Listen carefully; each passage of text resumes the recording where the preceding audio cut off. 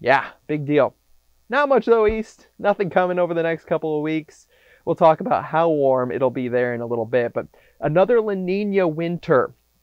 So it's the pattern of warm air and high pressure, relatively speaking, into the far northern Pacific. And then you have those cooler waters more in towards the central Pacific, typically pushing colder and wetter conditions into like the Great Lakes and the Ohio Valley at times, and that kind of like battle zone area. So this is every La Nina since 1950 on the temperature side of things. And notice you get some big variations. You get some ones with major cold north, but major warms just to the southeast.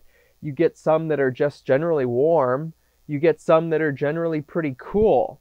Um, and there could just be some big contrast. And then you get some that are warmth east, uh, cool west.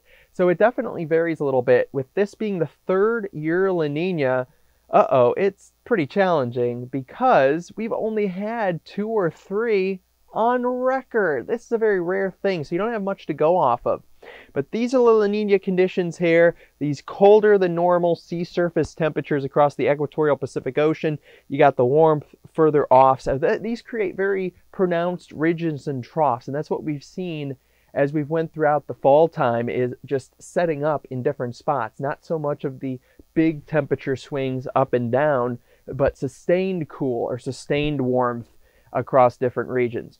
How does this normally translate with snowfall? Well, typically La Ninas have above average snowfall across the northern portion of the country by at least a little bit. Might not be too different this year. I think we'll get some moisture and some decent cold at times in through the northern plains, Midwest, Great Lakes at least.